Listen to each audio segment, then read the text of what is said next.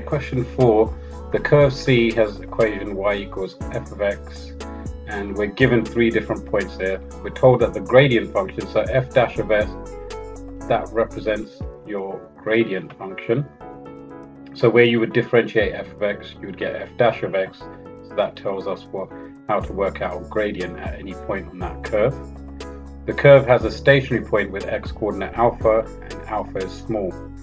Using the small angle approximation for cos x, we need to estimate the value of alpha to three decimal places. Okay, so you're given in your formula booklet, so you don't need to memorize these, you're given these, and the one that we'll be using, so when angles are small and measured in radians, we can replace sine theta with theta, cos theta with minus 1 theta squared over 2, and tan theta is just theta as well. So this will work for any small angle approximations. So we're told that the curve has a stationary point with coordinate alpha. So at that point then, if I work out f dash of alpha, that's going to be 2 alpha plus half cos alpha. And we know that at stationary point,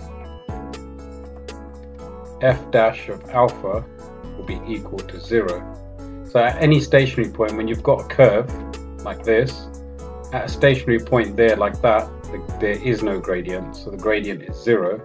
So therefore, 2 alpha plus half cos alpha is equal to zero. And what we can do in the essence then is replace cos alpha with this working here.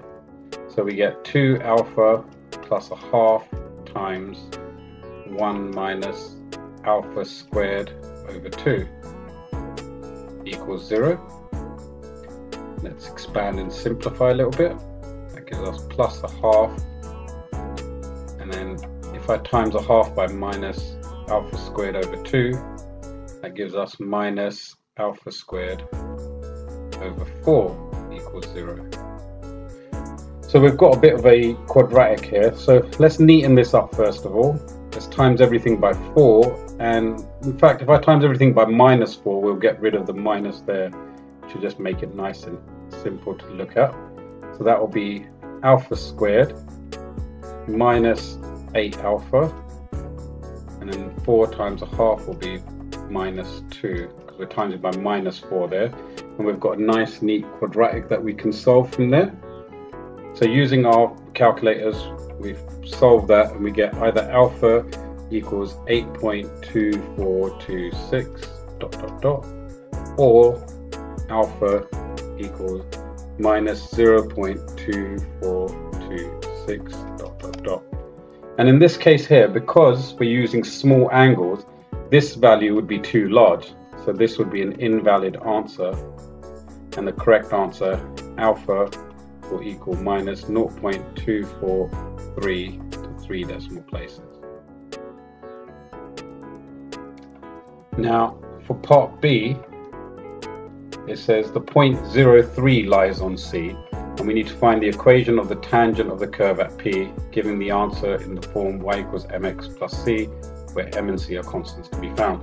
Now, if you think about this, what it's telling us is for this random curve f of x at the point 0, 03, so 0, 03 there, there is a tangent and we need to know the equation of this line here. Now, the whole point of differentiating or to find f dash of x is to work out the gradient function. So we know when x is 0, we want to know what the gradient is at that point. So if I sub that in, we know that f dash of x is 2x plus half cos x. And when x equals 0, so f dash of 0 will be 2 times 0 plus a half cos 0. That cancels out. And what we're left with is a half times cos 0 is 1. So it'll be a half times 1. So it's just a half and that is our gradient. If that's the gradient for this line, then we know it's going to be in the form y equals half x plus c. and they've given us a lovely little coordinate here because that is the y-intercept at that point. So therefore it will be y equals half x plus 3 if they gave you a different point where the first number wasn't zero. You would just sub that in to work out what c is um, using any coordinate that they've given you and you'd be able to work it out there Thank you.